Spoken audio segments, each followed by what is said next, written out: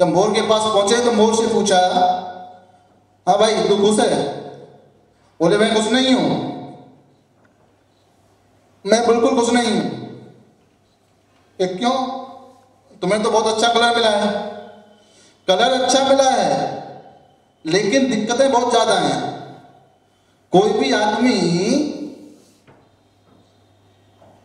तोता को नहीं मारेगा। शिकारी आएगा, तोता को नहीं मारेगा।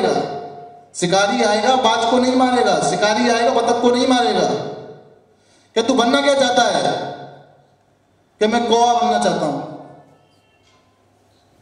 अब जो कौआ सबसे ज़्यादा दुखी था, वो निकला था इसी बिचवन में कि भाई मैं तो सबसे ज़्यादा काला हूँ। अब उसको मालूम चला कि दुनिया का सबसे सुंदर पक्षी मोर कह रहा है कि मैं कौआ बनना चाहता हूँ।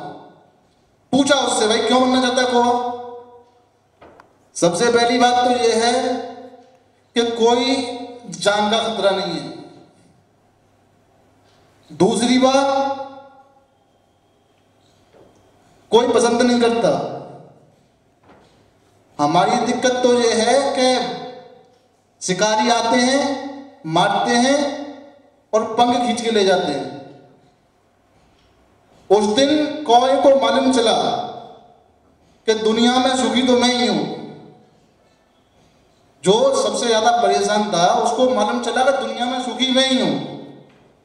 वही कहता हूँ, अपने आप को कभी कम मत आंकना।